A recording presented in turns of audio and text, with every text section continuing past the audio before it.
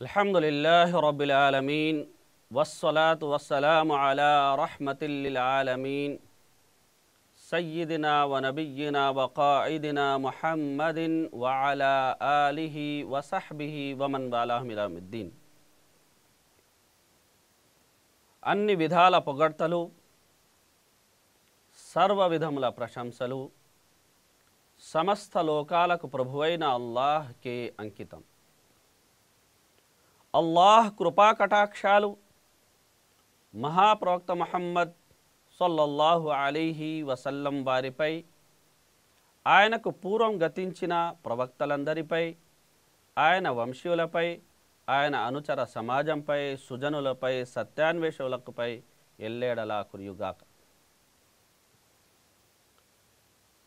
ప్రేక్షక మహాశివులారా మరొక్కమారు మీ అందరికీ సత్య సందేశం అనే ఈ కార్యక్రమంలోకి సాదరంగా ఆహ్వానిస్తున్నాం. ప్రేక్షక మహాశివులారా మరొక్క మారు మీ అందరినీ సత్య సందేశం అనే ఈ కార్యక్రమంలోకి ఆహ్వానిస్తున్నాం.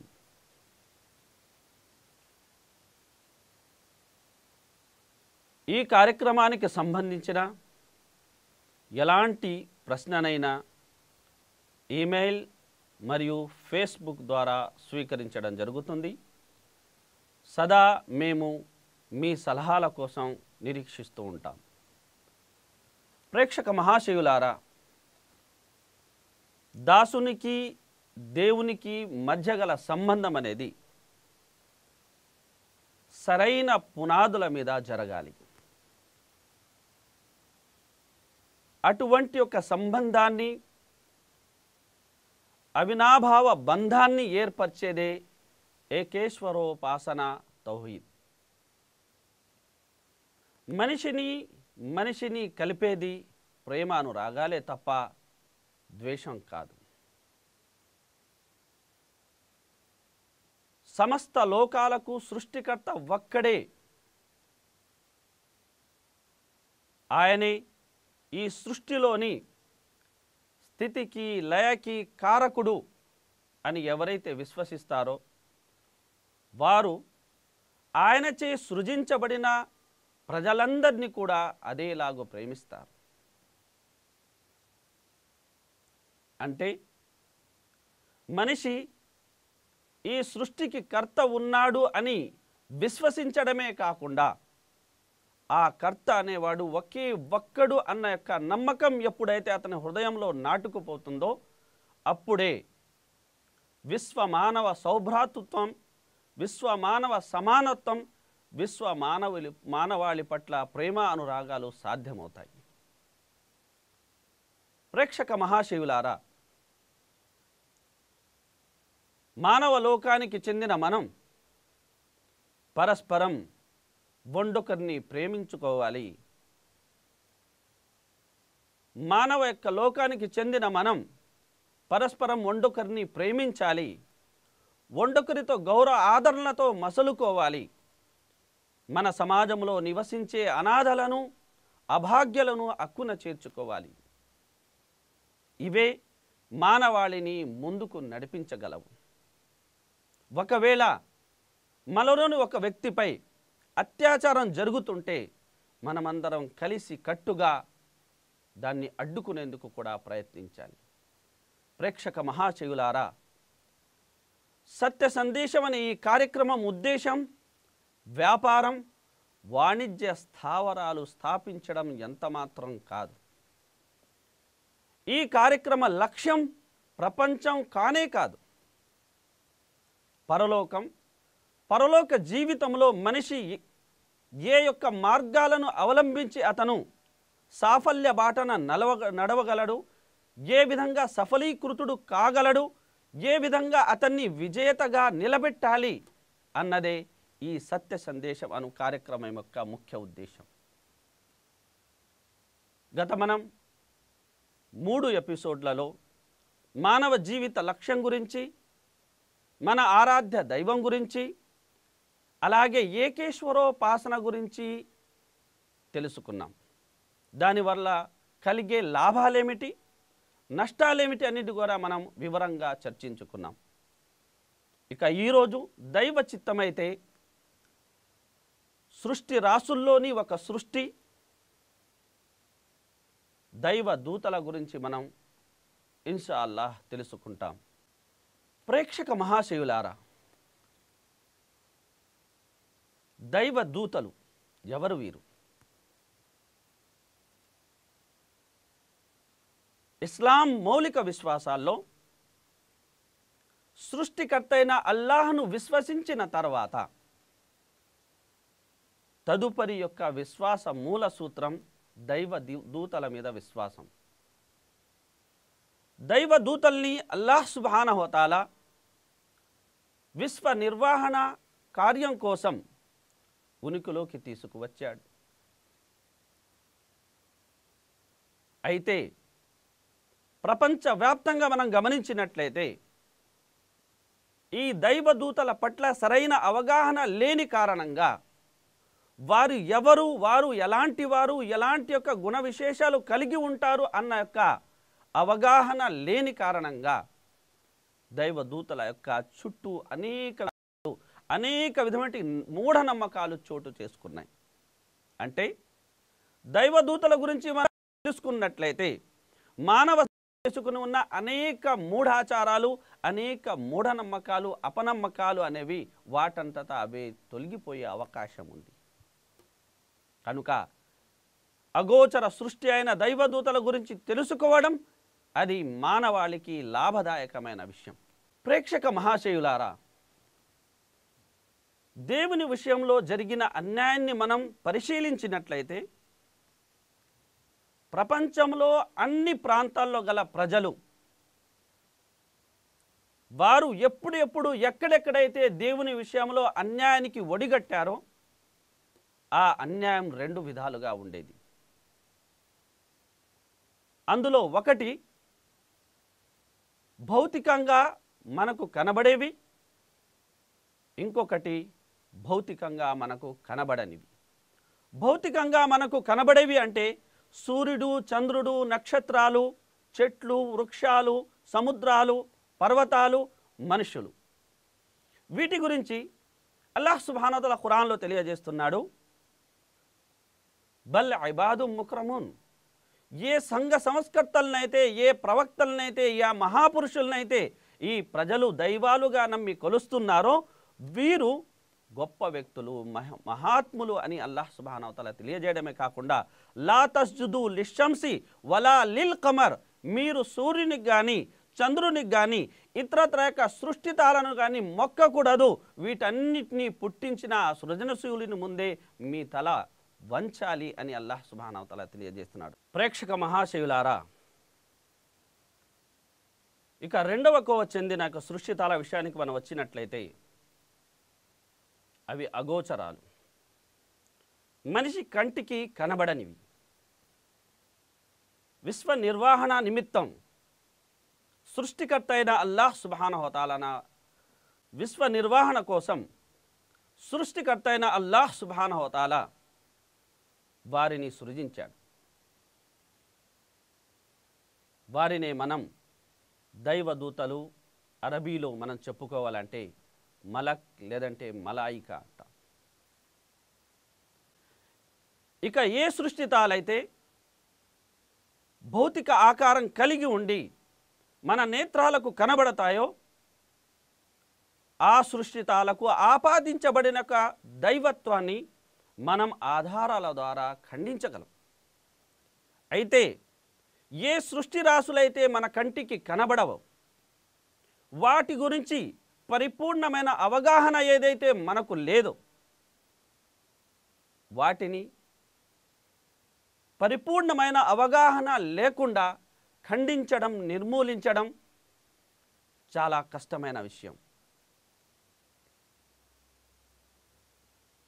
ఈ కారణంగానే సృష్టికర్తైన అల్లాహ్ సుబానహోతాల ఏకేశ్వరోపాసంలో ఇటువంటి యొక్క ప్రమాదకరమైన ఆలోచన చోటు చేసుకోకూడదన్న ఉద్దేశంతో ఇస్లాం మౌలిక అంశాల్లో దైవదూతల మీద విశ్వాసం అన్న యొక్క శీర్షికను ప్రవేశపెట్టడమే కాకుండా ఆ దైవదూతల గురించి తన అంతిమ దైవ గ్రంథం ఖురాను ద్వారా మరియు అంతిమ సందేశహరుడు మహమ్మద్ సల్లల్లాహు అలీ వసలం వారి ద్వారా అనేక చాలా సమాచారమే అందజేశాడు.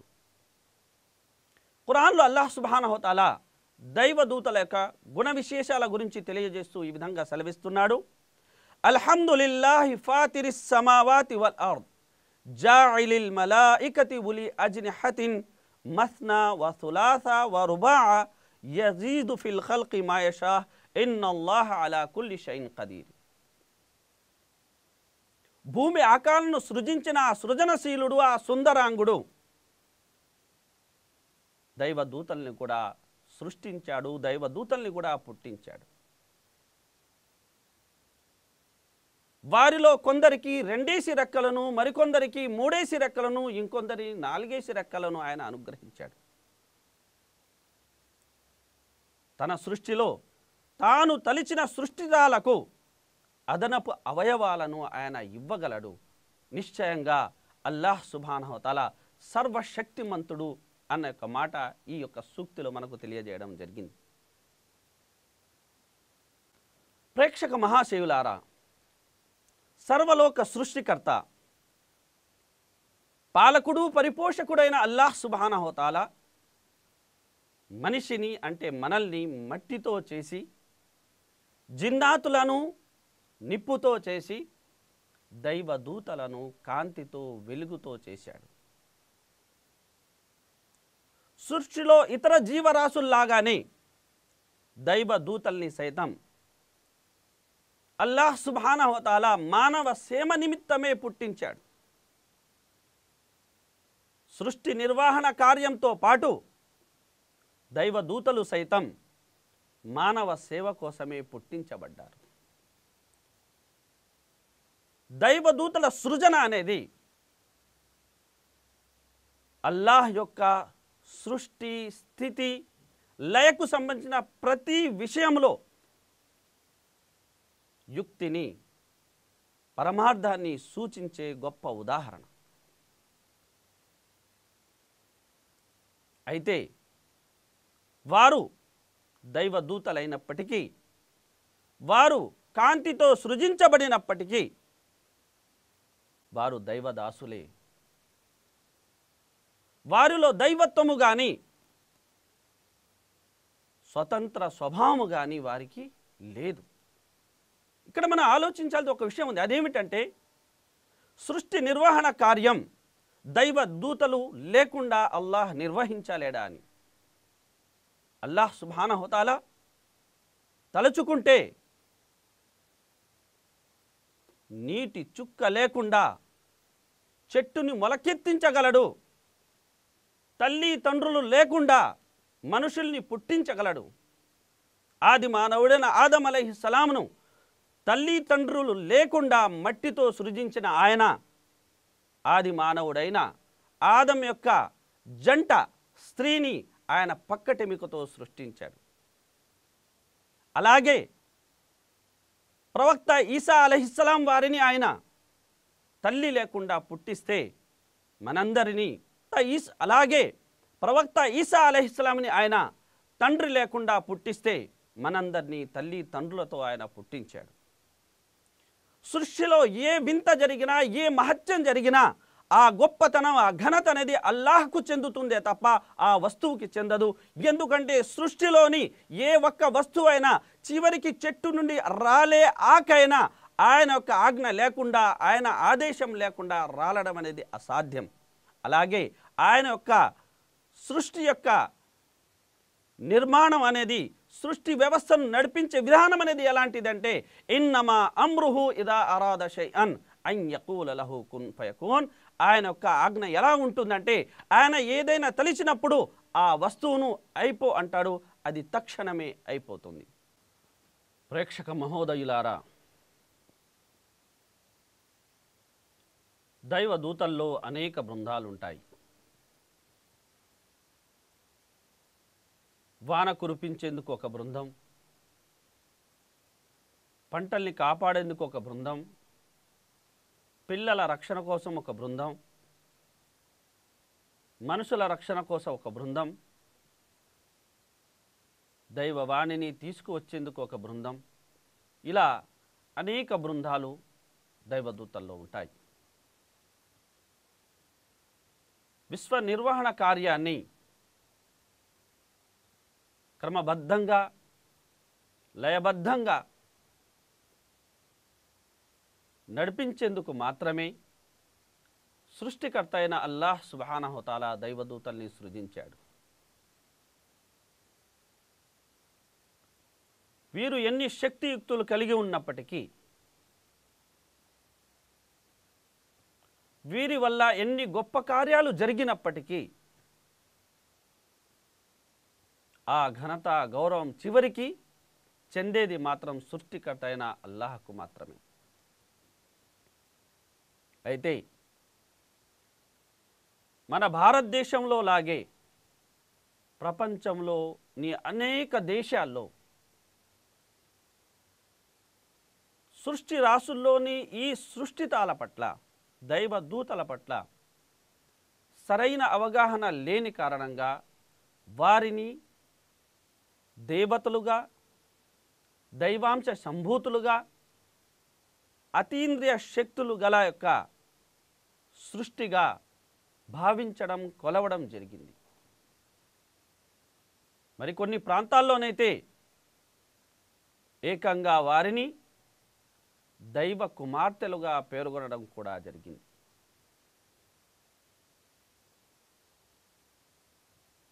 ఇదే విషయాన్ని తెలియజేస్తూ అల్లాహ్ సుబానవతల ఖురాన్లో ఇలా సెలవిస్తున్నాడు. వజాలుల్ మలాయికల్లదీనహుమ్ ఇబాదుర్ రహమాని ఇనాసా అషహిదు ఖల్కహుం సతుక్తబు షహాదతుహుం వయుస్ అలోన్ కరుణామయుని దాసులైన దైవదూతలను వీరు ఆడవారిగా ఖరారు చేస్తున్నారు. ఏమిటి? వారి పుట్టుక సమయంలో ఏమైనా వీరు అక్కడ ఉన్నారా? వారి సాక్ష్యం రాసుకోబడుతుంది. రేపు ఖచ్చితంగా వారందరినీ నిలదీసి అడగడం కూడా జరుగుతుంది అని అల్లాహ్ సుభానవతల సెలవిస్తున్నాడు. ప్రేక్షక మహాశివులారా